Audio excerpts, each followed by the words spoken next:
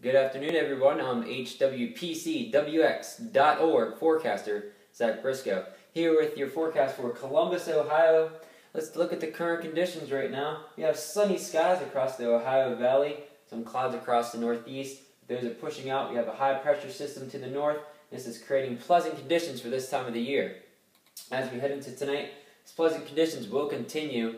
A little bit of frost and freeze across the Ohio Valley, northeast, some partly cloudy skies up into Maine, but those are going to be pushing out as we head later into tonight and into tomorrow. Let's take a look at the forecast for Columbus for tonight. Mostly clear and chilly, a low of 30 degrees. As we take a look at your forecast for tomorrow, sunny skies across the whole northeast. Ah, just bask in that sun. Well, it's not warm enough to bask in the sun, I guess. 54 degrees for Columbus for tomorrow. Let's bring that up. Sunny and cool, 54. You know, get out the golf clubs, maybe go for a run. It's a pretty nice day out there to enjoy for this weekend.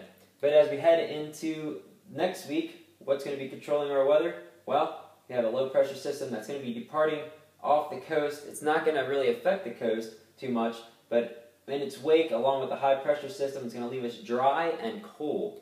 Looking at the five-day forecast, well, that will be reflected here with sunny skies Saturday and Sunday. Monday, Tuesday, Wednesday, partly sunny skies. Temperatures continue to slowly get warmer as we head into next week. Almost 60 degrees by Wednesday.